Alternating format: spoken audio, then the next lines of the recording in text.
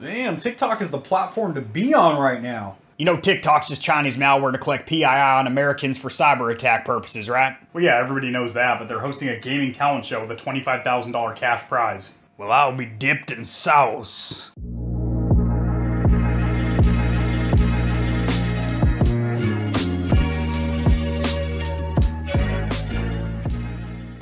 So, national security and cybersecurity aside, TikTok is actually a phenomenal platform when it comes to growth, especially for gamers. As recently, some big names like Tim the Tatman and Nickmercs have started porting a lot of their content over, basically shortening their YouTube videos into shorter compilations, and then bringing it over into short form video format for things like TikTok and YouTube Shorts. And that is a very good way for newer, smaller streamers to get started and to get discovered, as generally shorts have better discoverability as classic long form videos. So, I'll share my screen over here. I have an article pulled up. This will be be cited or sourced down there in the description below, as I do anytime I cover any kind of news in the gaming community or industry.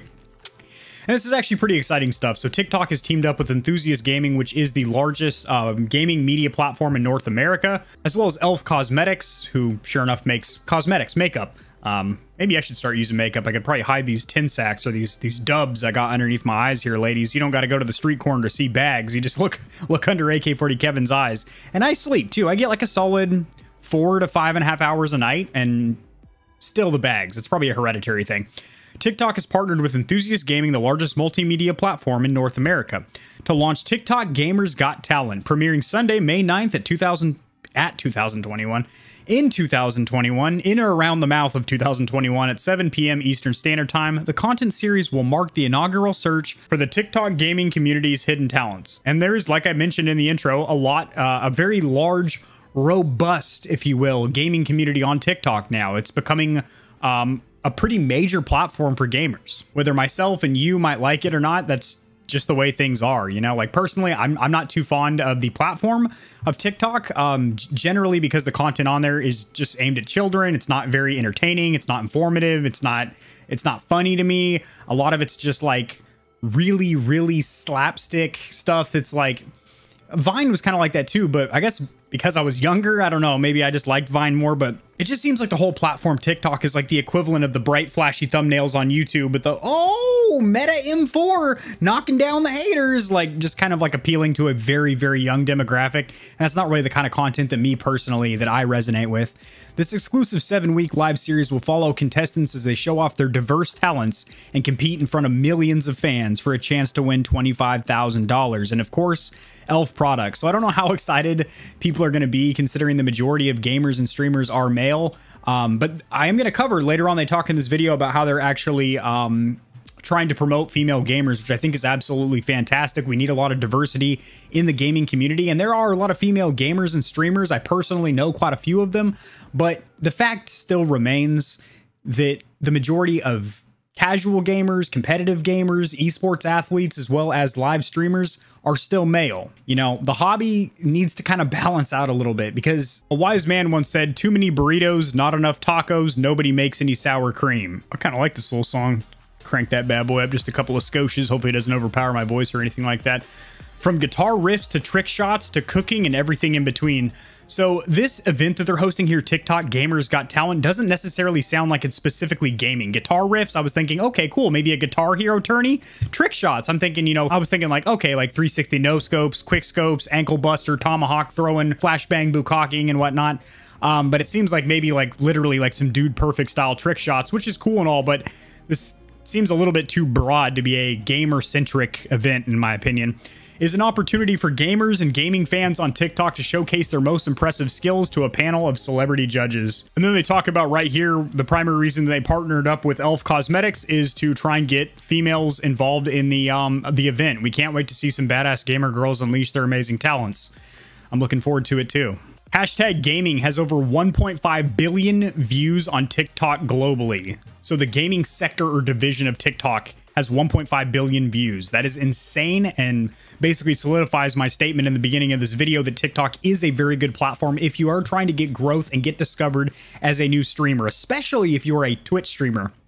Compared to something like Facebook Gaming, it's already a social media platform where you have your friends and family and whatnot, or YouTube that actually has SEO or search engine optimization, as it is a video searching uh, or a video archive platform hosted by Google, the largest search engine in the world, it's relatively easy to get discovered there. I'm not going to say easy because trust me, it's not, but um, in comparison to something like Twitch or Justin TV, as it used to be called, Amazon's live streaming platform, which by the way isn't really all about gaming anymore, just chatting is by far the most popular section of Twitch every day. It's very hard to get discovered on that platform, so a lot of gamers, streamers, even the large, already well discovered streamers that have a huge community, like I mentioned, Tim the Tatman and Nickmercs, are starting to branch out because they don't want to hit a plateau. They want to keep growing. You know what I mean? Like here's the ceiling and you just want to keep busting through it basically. And then I have this sentence highlighted for a reason. From overlaying music to using editing tools such as Stitch and Duet features. That is another thing is that if you are a new content creator, you're starting a YouTube channel or you're getting into streaming, Twitch and like Snapchat, Instagram stories, stuff like that makes it very easy just to record a quick video clip